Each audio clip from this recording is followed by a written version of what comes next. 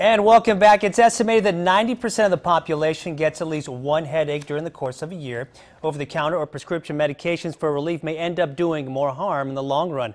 We have a neurologist in studio to show us how to get rid of your pain without medication. Dr. Ravinder Singh joins us this morning. Good morning to you. Good morning. So, pain medicine is not really good for you.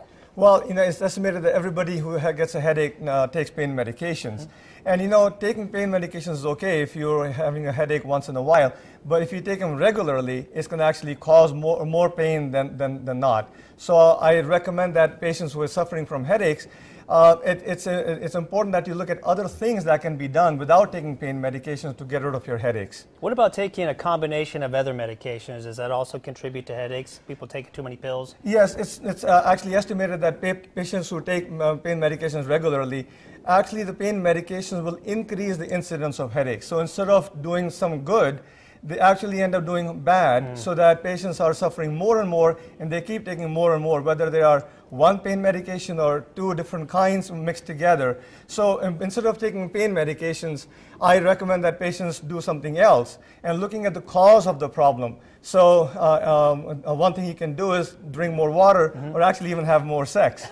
more sex. Yes, actually right. it's, it's been shown. That's one, that's one of the things that we, I talk about five things that you should never do okay. uh, if you want to stay headache free this year. Is the first thing is to abstain from sex. Okay. Sex actually boosts your natural hormones that are the healing hormones called the endorphins. So uh, instead of uh, using that as an excuse to uh, not have sex, I think uh, you should use a headache as an excuse to actually have more sex. also, you have an artichoke.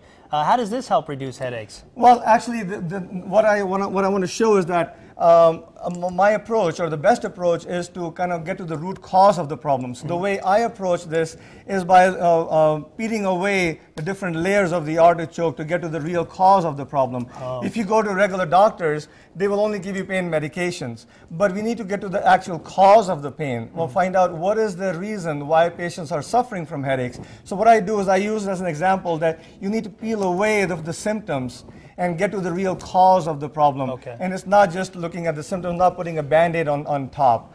Um, so it's very important to actually find what is the root cause and address that instead of just taking pills. Do you have one other thing real quick, an acupressure or acupoint type of relief?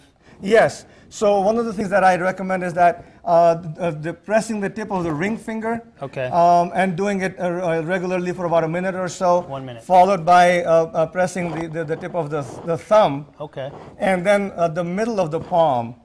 Can be very helpful. So when patients start having headaches, instead of just taking a pain pill, start doing this. Ring finger, thumb, and then also the palm. And very you can do it on both hands. Fantastic. Thank you for joining us this morning.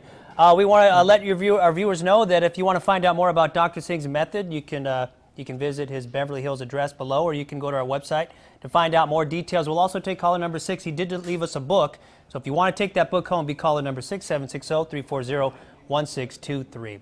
All right, well, the time right now is 19 minutes after the hour, still on KMIR 6 today. What's cooking? That segment next. Next, Ruth's Chris is here. Don't go away.